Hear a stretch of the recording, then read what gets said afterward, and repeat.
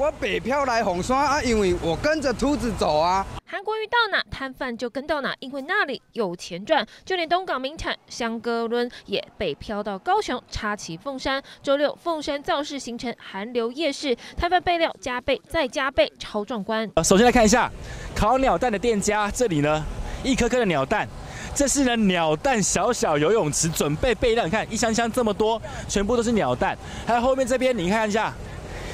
香肠瀑布再度的出现了。现场香肠摊不止一家，走到哪都能看到香肠瀑布。备料最多的准备了三千条，还有一千片的鸡排小山跟鱿鱼屏风，一个晚上全部清空，压倒性的收入是过去小贩们所无法想象。我别定啊，啊拢袂甲空空空啊，屡次拢破迄个。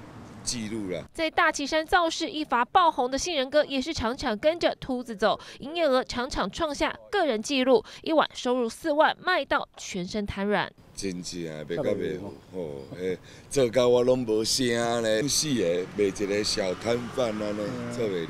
新人哥说，为了凤山这场连续三十五个小时没睡，但丰硕的战果让他下一场选前之夜也不缺席。毕竟对小本经营来说，荷包肥瘦大于政党颜色，东西卖出去，钱进得来，这才是百姓心声。记者高雄综合报道。